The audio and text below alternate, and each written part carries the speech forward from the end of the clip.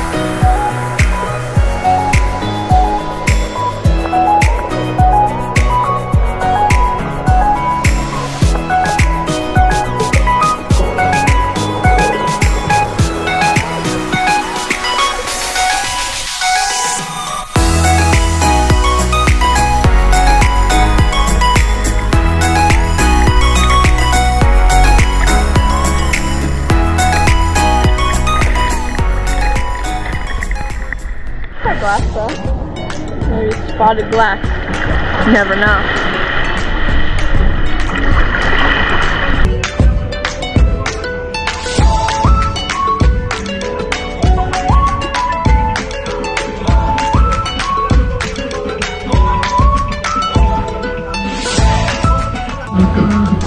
Today's meal and drinks were $710.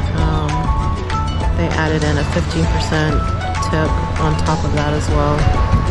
Um, it's good food. Highly recommended. We had a good day here.